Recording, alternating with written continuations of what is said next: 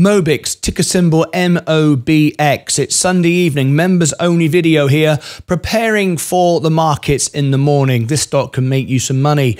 We reported on it last week for a full analysis, but now this video is available to the general public on Monday morning, just before the bell goes.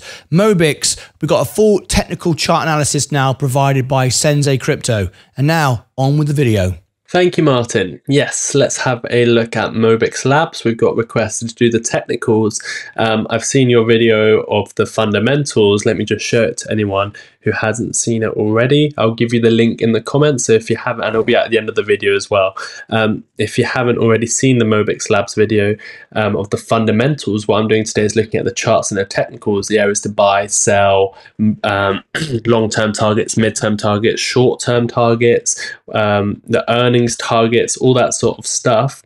I'll be looking at in this video, but Martyn has already done who's also the, the, the, owner of this channel has done um, the fundamentals. So if you do want to see the technicals, if you do want to be kept up to date with Mobix Labs, please do consider hitting the like button. If this video gets 100 likes, which is the target, I will be donating $100 to charities. So all you have to do is smash the like button. The market capitalization of this stock is 90 million.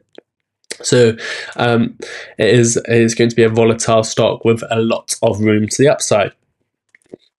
Now let's look at the technicals. So let's start with the long, uh, just looking at it since um, on the weekly. So each candle represents a week. We can see uh, that this uh, is a very new stock. It's um, been around since basically the beginning of this year, December 2023. Um, so it's probably better if we look at it on the daily time frame. This stock IPO'd at around um, $10 it traded there for a few days, and like many IPOs, it came down very fast and quick. Um, it's then gone into this mini sort of accumulation phase. Uh, so what it's done is once it's steadied out at around two dollars fifty, between two dollars fifty and um, three dollars.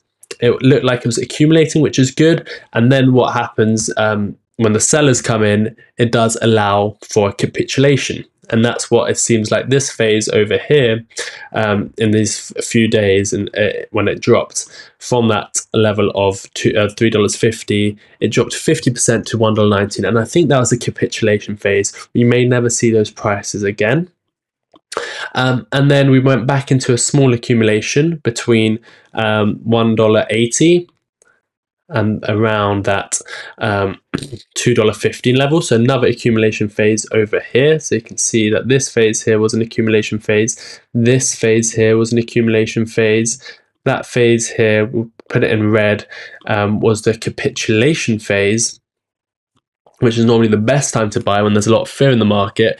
And now are we going into the phase of sort of the S curve, the, the the the the big move up. It looks like we are. The momentum is there. We are above um, a moving average. We are above the resistance of that last accumulation um, of the last two accumulation phases.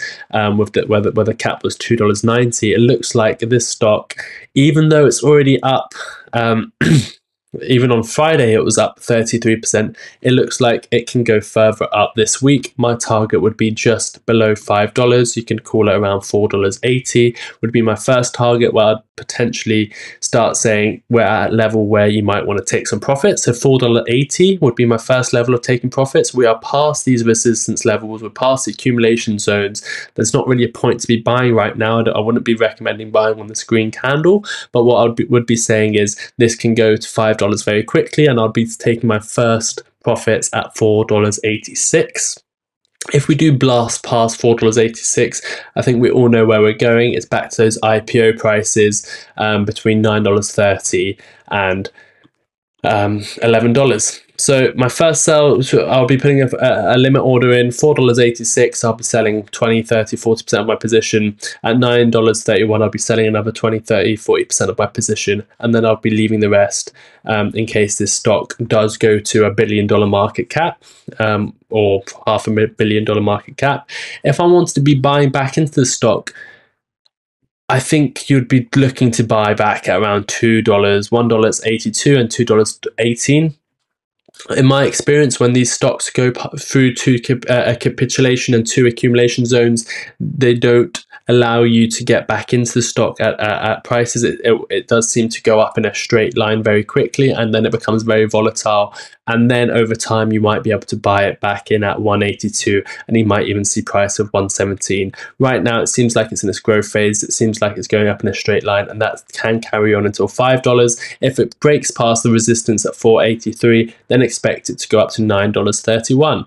Um, those are the levels for me. The RSI is definitely overbought right now, so be careful. However, these stocks can be overbought for quite a long period of time. The MACD is looking bullish, it is in its green zone, so that giving indication it can continue going um, to the upside. It is overbought, so at some point it will sell off, but it's at some point now. I don't think so. I think we can go all the way to $4.80 and then see the first sell off of the stock. And once we see that sell off, what we're going to be looking for is for it to come back to maybe this um, zone at around $3 for a retest um, to turn this resistance um, form of resistance into support, and then we can take out the $5 and go to $10.